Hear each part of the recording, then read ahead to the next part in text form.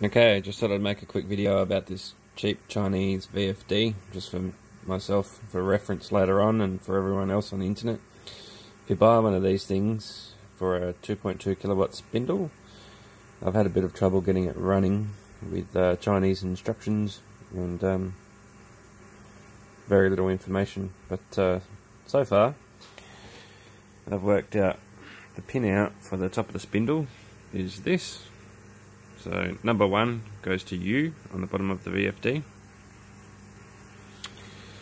And so on. Two goes to V, W goes to three, Earth is actually down a bit lower there.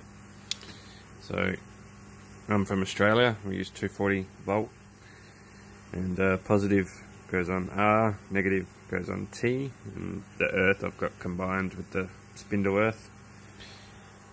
Another thing I found is when I wired it all up, it didn't work because the actual VFD pro is programmed for external output rather than to use the screen. So first thing you have to change is go press program and just navigate to P002, press enter.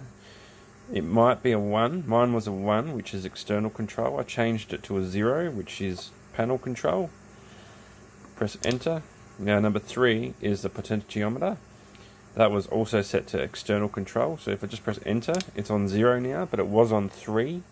So I changed it to zero. Press enter again. Press program to go back. Program again. Now you can see that the actual potentiometer works. And if I press run, the actual run light turns on. So spindle's running.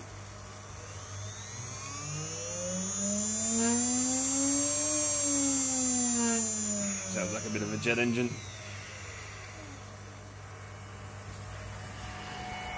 The model number of this one is JLS hyphen E hyphen 2S hyphen 2 2G. Alright guys, that's all from me. Bye.